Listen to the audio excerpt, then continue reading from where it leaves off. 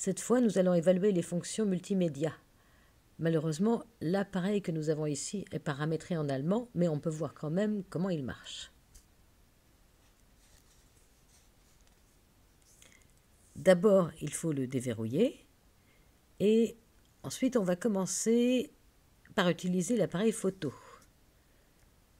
J'appuie sur le bouton, il vibre un peu. Ce qui est drôle, c'est qu'il vibre à l'intérieur du bouton de l'appareil photo. Il faut un certain temps. Euh, un certain temps. Bon. Ok, je presse de nouveau le bouton. Et voilà, on a l'application appareil photo. On peut connecter l'appareil photo avec un GPS et l'écran va indiquer l'endroit où vous avez pris la photo, ce qui est plutôt sympa. Dans le coin supérieur droit, il y a oui, il y a une vue, un aperçu de la dernière photo qui a été prise.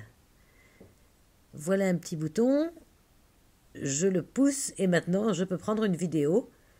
Quand je le pousse de nouveau, je peux prendre une photo et ça c'est le bouton déclencheur. Ici il y a un petit aperçu, vous pouvez voir, on peut mieux voir quand je mets la main derrière. Vous voyez l'autofocus a été activé ou ça veut dire que le flash automatique a été activé. Malheureusement, quand on appuie sur ce bouton, Rien ne se passe. On pourrait s'attendre à ce qu'il se passe quelque chose, mais la seule chose qui arrive quand on touche l'écran, c'est que les contrôles du zoom numérique sont affichés. On va essayer de trouver quelque chose pour le prendre en photo. voilà, un petit stylo Apple. Ici, on peut voir comment le zoom numérique fonctionne. C'est un peu flou, mais bon, c'est juste un, un zoom numérique. Ici, dans l'application appareil photo, je peux faire glisser l'une ou l'autre des options. J'ai déjà changé le premier paramètre, ou je peux ouvrir le menu d'options avec le bouton paramètres. Je peux ouvrir la galerie ou ouvrir les options de cette manière et elles arriveront en glissant à partir de la gauche. Je peux régler le mode de flash, avec flash automatique ou sans flash automatique. Là, je le garde automatique. Je peux régler le mode paysage. Pour l'instant, il est sur automatique. On peut le régler sur action. Et dans ce cas, l'appareil est très rapide, ce qui est bien pour prendre par exemple des photos de sport. Ou le mode stabilisateur, qui est un stabilisateur d'image très pratique et agréable, mais il ne fonctionne que quand on est en pleine lumière. S'il fait un peu sombre, il vaut mieux ne pas l'utiliser. Il y a aussi la balance des blancs, l'alignement, qui fonctionne automatiquement ou avec certains paramètres. C'est pas mal non plus. Malheureusement, je n'ai pas trouvé un moyen, pour le moment, pour revenir en arrière directement dans le menu des paramètres principaux. Il y a différents réglages de couleurs, noir et blanc, sépia, négatif. Bon, je vais essayer de voir s'il revient en arrière. Si je choisis quelque chose, j'ai appris quelque chose de nouveau. Ici, vous pouvez enregistrer votre position actuelle. On peut ajuster la taille de l'image, la qualité de la photo. Et on peut mettre euh, la, mise au point sur automatique, infini ou macro. Alors essayons de prendre une photo. On appuie sur le bouton mais pas à fond. L'appareil va faire un petit bruit très court. On voit un cadre vert et maintenant on peut prendre la photo. L'appareil photo se déclenche, vous pouvez le voir. Maintenant l'image est fixe et voilà, prêt pour une autre photo. Ça signifie que l'appareil prend environ une minute et demie à deux minutes pour enregistrer la photo. Et une raison pour cela, c'est que la carte mémoire qui est vendue avec le téléphone est assez lente. Il semble que c'est seulement une carte de classe 2. Il est fort probable que prendre une photo est plus rapide lorsqu'on utilise une carte de classe 6. Surtout lorsque vous prenez des photos d'enfants, euh, car ils ont tendance à ne pas poser pour la photo, mais à bouger tout le temps. Donc au moment où vous voulez prendre la photo, c'est trop tard. Pour ça, l'appareil photo n'est pas très bon, il est simplement trop lent. Et c'est peut-être dû au fait que la carte mémoire est trop lente.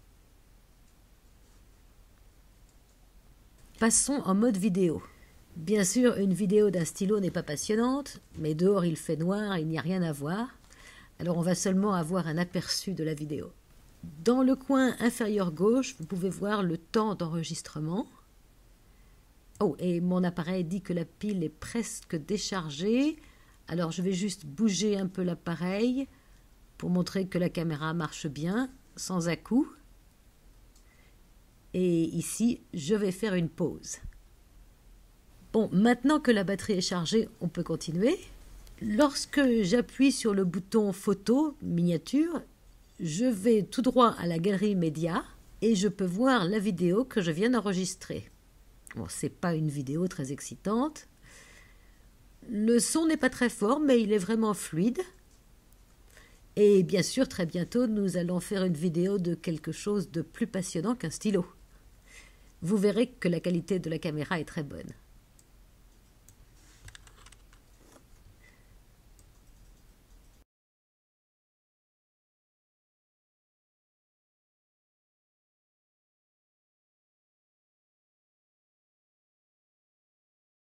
Contrairement à la version américaine du Milestone, ici je peux passer rapidement euh, dans la galerie. C'est une fonctionnalité qui, je pense, est très agréable et très utile. Et maintenant, je peux jeter un œil à toutes les vidéos qui ont été prises jusqu'à présent. Bon, voilà pour l'appareil photo.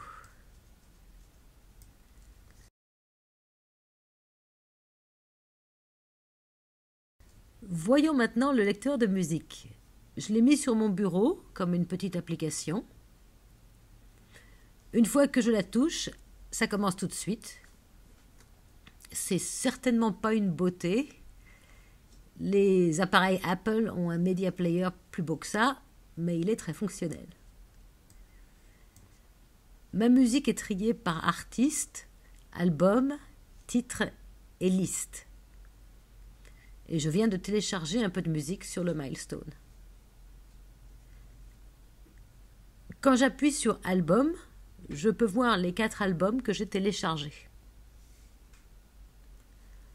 Quand j'ouvre un album, je vois les titres dans l'album et je peux voir celui qui joue en ce moment parce qu'il y a le bouton de lecture, play. Et quand je vais ici, je peux voir que cette chanson est en cours de lecture. Quand j'appuie sur play. Maintenant, il démarre.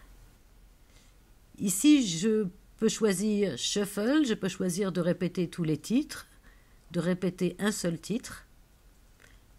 Ici, je peux appuyer sur pause. Je peux me déplacer dans la chanson et vers la chanson suivante. Ici, je peux voir la playlist en cours.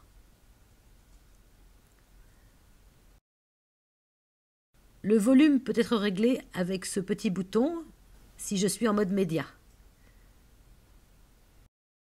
Donc je vais mettre en place le volume des médias. Si je ne suis pas en mode média, je peux ajuster le volume de la sonnerie.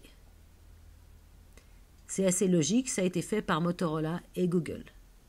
Et ici, comme j'ai dit, vous pouvez régler play et pause juste sur le bureau ce que je trouve vraiment pratique. Donc voilà sur les fonctionnalités médias. Malheureusement, je n'ai pas trouvé de vidéo dans le format média approprié pour le lecteur vidéo. Mes vidéos sont des DIVX et je trouverai peut-être une application pour ça. Mais le lecteur vidéo que j'ai téléchargé ne peut pas les jouer. Je vais peut-être reformater une vidéo et vous la montrer plus tard pour évaluer la qualité de la vidéo sur le Motorola Milestone.